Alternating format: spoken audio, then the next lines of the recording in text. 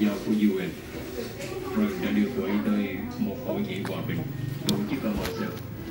Đã có chuyện gì xảy ra Frank không bao giờ nói với tôi, nhưng tôi nghĩ là họ yêu nhau. Sao cô ấy lại biến mất Có người đã đe dọa cuộc sống của cô ấy, Trời, ủ nhưng ăn không ai biết bỏ cô biển ấy cứ vậy biến mất rồi. Chắc là Frank đau buồn lắm Anh có biết ai tên là Novik hay Không, một đầu sỏ chính trị bị trục xuất khỏi Crimea Hắn đã thuê Frank lấy thứ gì đó ở Sevastopol ờ, tôi thấy hai chuyện này đâu có liên quan. Tôi cũng thấy như vậy đó Frank thì không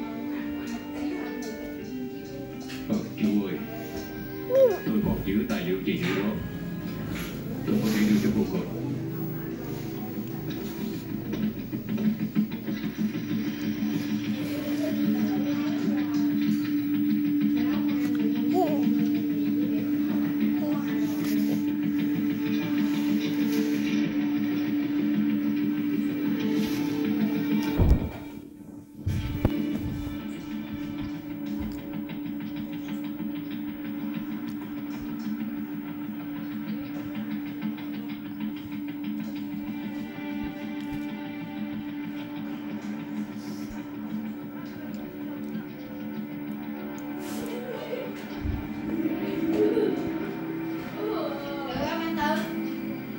Được.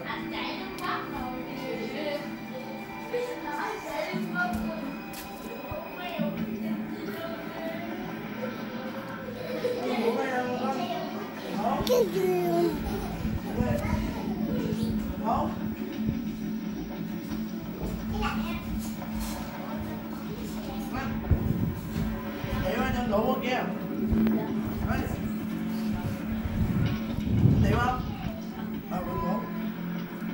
Đây.